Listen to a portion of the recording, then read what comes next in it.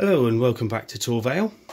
Now as promised in my last couple of videos I will be doing a build of the N Gauge Royal Albert Bridge. Now this is a brilliant kit which I found on the N Gauge forum. Um, I have the link in the description which I did in the last video as well. But I've wanted this for a long time. Um, as I said as well, it's not going to be exact because it's going to be a double width um, span. So at least I can have a double mainline track running through it.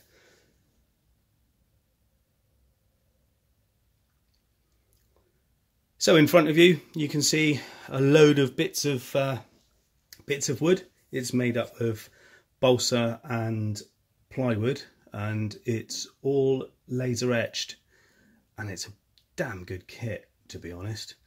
Now i must confess i am not going to profess to being a brilliant kit basher um, but i'm going to give this one a go. Uh, i've had a look through. You get some quite decent instructions with it um, with photos instructions on what to do for the either the single or the double width track. So yeah, it's it looks like it's going to be. Excuse me, I've just had a coffee. It looks like it's going to be quite an easy, um, quite an easy build, if not a little bit fiddly. So let me talk about this one then. I've uh, decided to try and do both spans. Uh, you can buy the kit in one span so that you just have one of the arches of the bridge or you can buy the two. I've gone for the two. I don't know yet where it's going to go on the layout once the layout is done. Um, so I thought I'd go through a build of one of the spans and uh, show you how it's how it's built. As yet, I still haven't edited this, so I don't know whether I'm just going to do a speed up video or whether I'm just going to cut from one bit to the other. Um, but anyway, let's move on.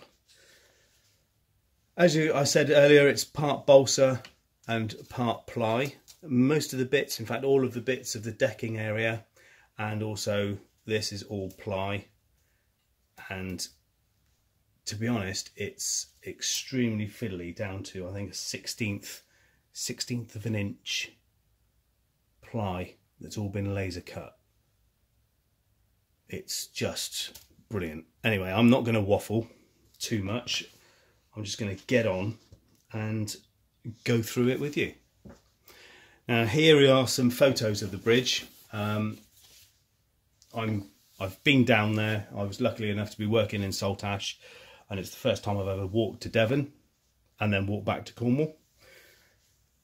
I thought I'd go along and take a load of these photos from above and below just to get more details um, including the main pillar supports either end, uh, the centre of support, which is different with the columns. Then also you've got the little towers either end and in the middle, which I've now realised that the one in the middle actually has chamfered edges, which is different to the N2. So the build comes with squared off towers for the middle I'll probably end up trying to chamfer that off as the actual original is. Uh, there's a lot of detail which can be added. For argument's sake, these ladders on the ends, on the back ends of the pillars. Um, no, towers, not pillars. So yeah, I'm going to probably detail it as much as I can once it's built. Um, I've even been down below It's a cracking little pub there with this Union Jack on, which may feature depending on how it sits on the layout. I still haven't figured out whether these pillars that hold it are tall enough for me um, or for the layout. But I've spoken to Peter who designed and built this kit and if I want any extra height he can let me have it or there are extra formers in the kit which allow a sort of concrete base made out of MDF, I think it is. Um, but that's down the line. We've got to get this wooden jigsaw together first. So let's get to it. now to start the kit, we're going to start with the base. Uh, this is going to be the track bed, which is these, these pieces here. Um, so what I'm going to do is get rid of all of this lot because this lot will come in later on. Um, so we don't need those now. Excuse me. Yeah, I'm in my dressing gown. I'm, it's silly o'clock in the morning. My missus has gone to work, so I'm faffing about here instead. Right. So, each of the parts, there is two parts to the track bed. One is 16th of an inch and yeah 16th of an inch and the other is I think an eighth of an inch but I may be wrong with that. So basically it's all written out. It's a, it's very well laid out uh, you've got different ends here tells you which is the inside of it I, I, I'm, I am impressed looking at this kit. It's brilliant. So, anyway. Right, so as with normal modelers, you can guarantee that um, you buy stuff and you've already got some. So the kit says, and I'm going to go with kit and go with the recommendations of what Peter says. Um, he says uh, he's used, uh, is it a superphatic glue? to glue all the pieces together. So I went out and I bought um, bought a small pot, thinking that would be ideal. Opened up another box in my railway stuff, which I found in the loft, and obviously found that. These things happen. At least I've got some for the future, I suppose. Anyway, it took me a little bit of a while to figure out what the parts are, and I did what men normally don't do, and I actually read all the instructions and got all the bits and pieces together. Here you go. So this 16th piece of ply is one of the bases. There are two because for each span you need two of these together. So the whole kit that I'm doing comes with four. I've already glued some on here these are the spacers between the bottom plate and the top plate. Now they only go one way. And as always, I've done it the wrong way. So that will then go over the top and makes it as rigid as hell. Now, it doesn't say in the instructions about the wiring, but the track will go onto this piece here. So you'll have the two tracks here. What I'm planning to do is as there is a tiny gap when they go together down the bottom because that will all sit in together. Um, there'll be this small gap here. I'm going to try, I don't know how easy it's going to be, to run my cables that feed power to the track down through this deck, down through this decking here and in through. I'll, I'll do that afterwards. If it comes through and it needs to go down running underneath, then so be it. I mean, Peter's done some excellent uh, instructions on that link in the description of how he's done it. So um, I may copy that idea, but I might try my own just to see if I can completely screw it up. So anyway, these little braces here, once you've done two of them, they, no, wrong one. There's so many differences. If you see this one here has a chamfered end, the one that goes on the end of the board is straight end, but then when they link together, they overlap here, which goes over the middle. I know it'll become apparent later. It's very, very fiddly, but here we go. What I'm going to probably do is just do a couple of seconds of me sticking shit down because what's the point in showing you everything um, although saying that on some videos I do quite enjoy watching the sped up bit and listening to the uh, listening to what's happening in times 12 or whatever, but I've not actually got down to working out myself how to do that yet on YouTube. I'm pretty sure that the program I use for editing videos will oops, will do it. right now, obviously I'm just doing this a bit willy and indeed nilly, but this won't be seen because it'll be in underneath. Yeah, I may be wasting some, but hey ho. I do know to put the cap on so it doesn't dry out. So we've got short and long. The long ones go up through the thicker base, the short ones go on here. It's just a case of locating them in the holes in the base, which are all finely cut out.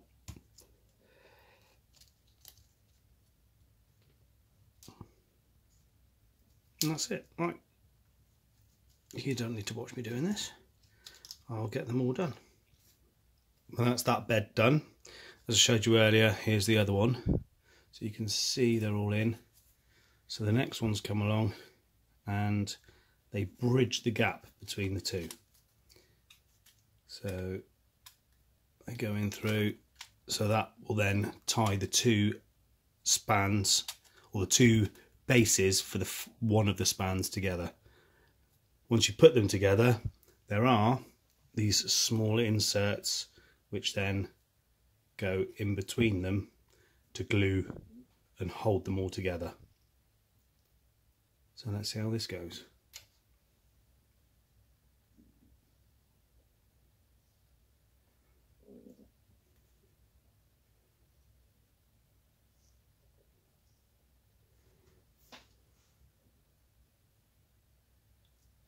Blue dot to blue dot again. Here we go.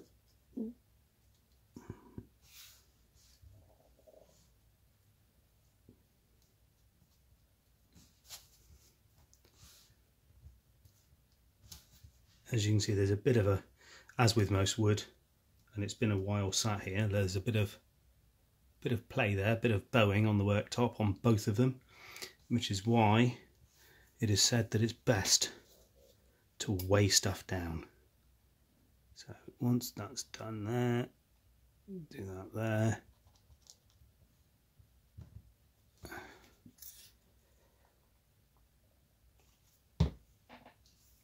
That will go as the bracing there.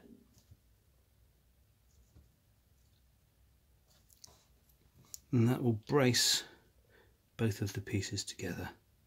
And then when you put the top pieces on, they'll butt down onto that as well. So it should make it a nice rigid platform. There, because that end's already been glued. Done.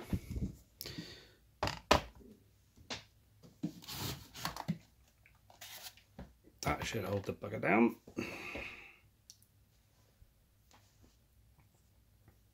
Right, rookie mistake number one. Luckily I thought about it in time as you saw here I went straight over the top of the holes. So what happens when you squeeze it down? Yep comes through the bottom and nearly sticks your whole bridge to the bloody worktop. Pillock. So I will allow that to set and put some weight on that instead and do it upright that way I've that dried for a little while. Now comes the fiddly bit. I have just done a dry test. And yes, I know I'm going a bit overboard with the glue.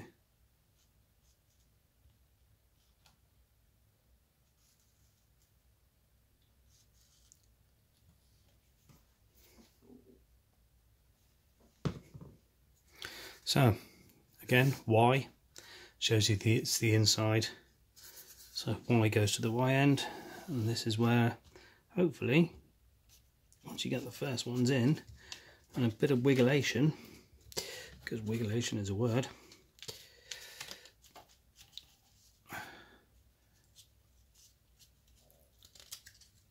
there are a few that just need a bit of a teasing hand, he says. But you can look up inside it.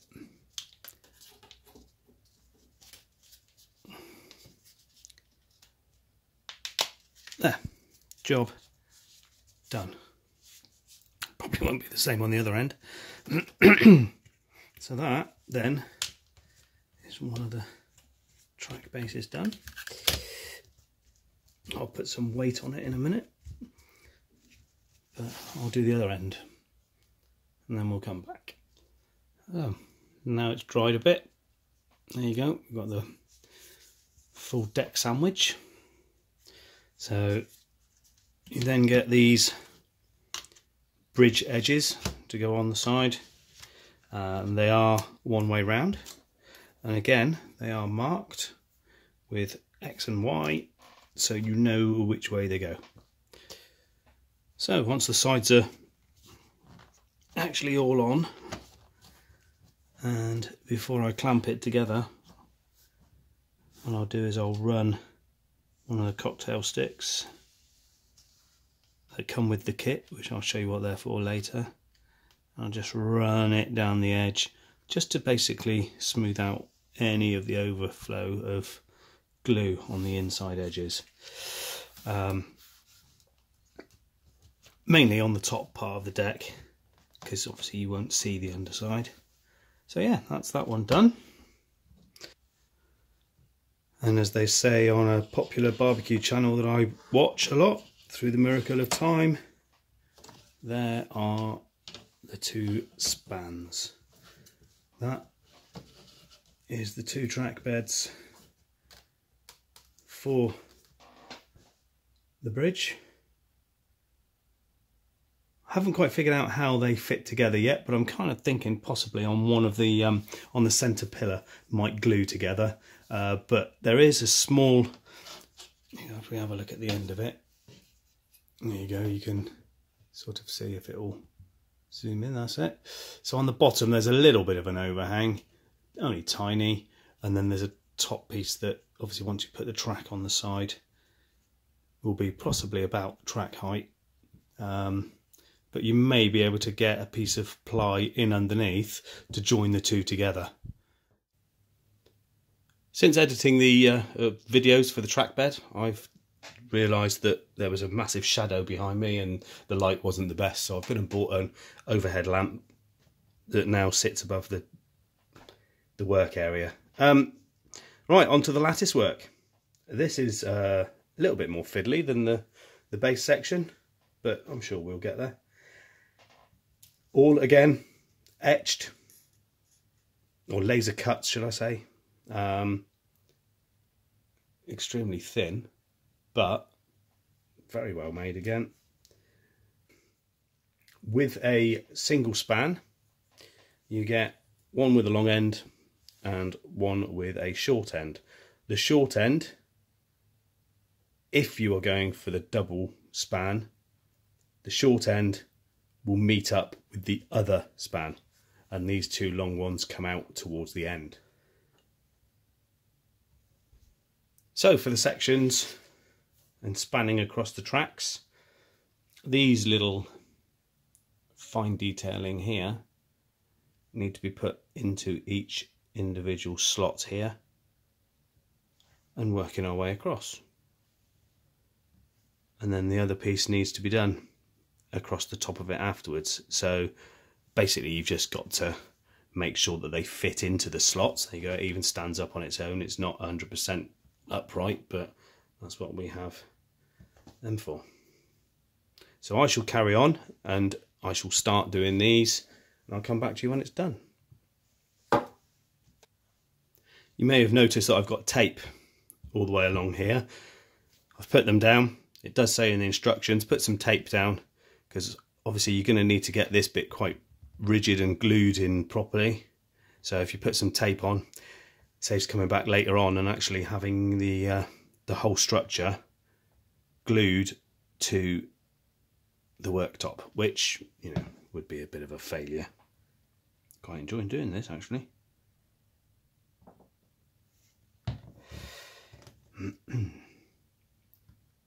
Excuse me, I'm just getting over a bit of man flu. Excuse the coughage. So that is all in and done. What I will do then is that one there is not quite upright. Just put that in there to hold it. I then get in a cocktail stick because although this will dry off and it's on the inside of the bridge effectively, still want it to look nice and neat. So I'll just, I suppose I could have used a brush, but I've got these cocktail sticks that came with the kit for the top tube former, which I'll go in in the next video. So I'm just using these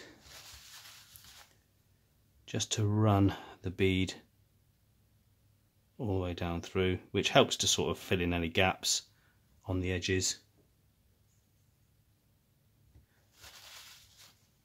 And it also, if you twist it, kind of removes the excess as well.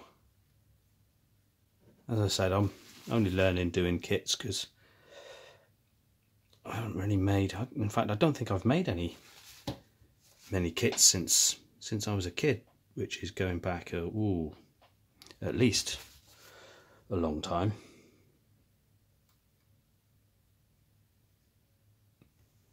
There you go. There's loads of glue on the tape underneath, but at least it's not going to be sticking to the worktop. Well, once they're all on and it's all dried, now we've got to put the other bit on the other side. I think the easiest way for me to do this is to lay this piece down on here, glue it up, and then try and line these up. There may be a bit of swearing because I think it's going to be a bit of a pig, but you know, we'll give it a go.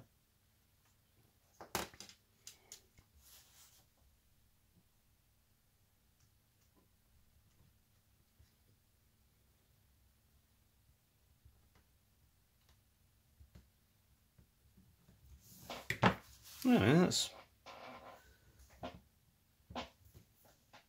yeah.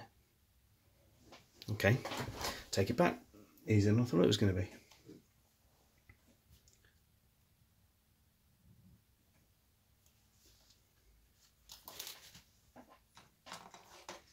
Oh, there you go. That's those two done. Just got to let them dry now and then we've got the side bracing to join it together as one so I will come back later once these have dried completely well the glue's now dried on these so I'm butting them up together and so that they don't pull apart I'm just putting a little bit of masking tape over just to hold the bits together I'm using tape which is a bit like Tamiya tape.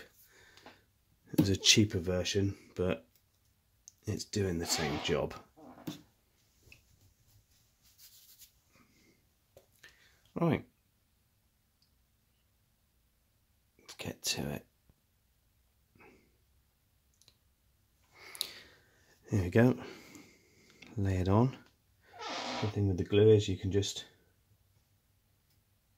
bit of wiggling into place. I've already put that one on the top which was holding it but I've left a bit on the outside so I can just flip it over and that will hold that there once it's in place which is good. And this is where my fingers will get filthy for two reasons.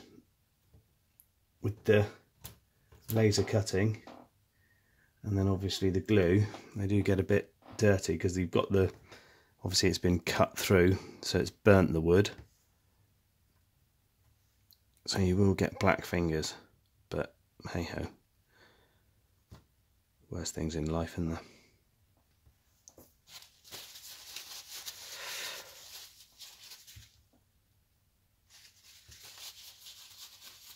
now again using my trusty toothpick I just run this down all the excess And once you've got an area that you think you're going to need to hold in place, another little bit of tape. Obviously experienced model makers may be looking at me going, what are you doing like that for? But every day's a school day, you live and learn, so if you think I'm doing it and uh, there's something that could help me in the future, then please feel free to comment. As I say, every day's a school day, everybody's willing to learn, everybody's got their own ways of doing things.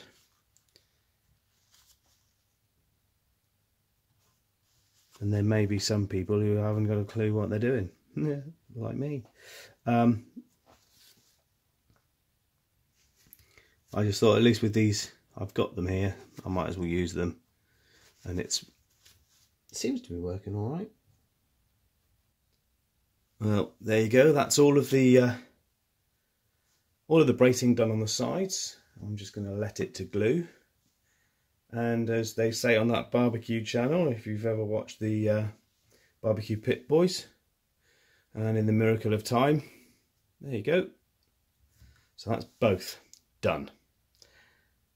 So I'm going to let those two dry off and um, the next video will be the tube that goes across the top of this and also the two pillars either end and then the centre column as well fingers crossed that shall all uh, be done within the excuse me within the month.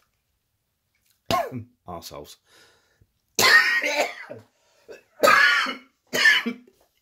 Ah.